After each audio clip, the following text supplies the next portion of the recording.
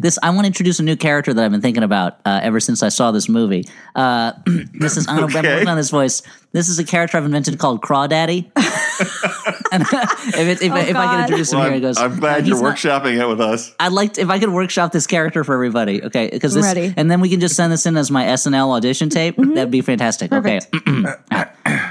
Well, well, it's me, Crawdaddy. I grew up in the Louisiana bayou, but now I'm a mm-hmm. suburban dad.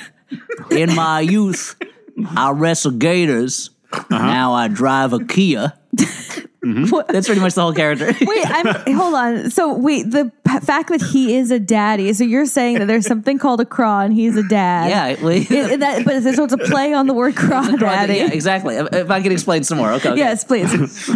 You know, growing up, Uh-huh. sometimes the heat gets so bad you couldn't even blink.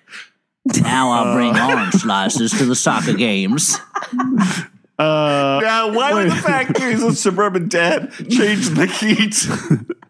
Well, because he doesn't From when he live was in. a It, let, kid. let, me explain, let me explain. Explain. okay, he moved I, away. grew, I I. He- I was born. from the I was yeah. born in a shack in the bayou, but uh-huh. I moved to Connecticut for the school districts.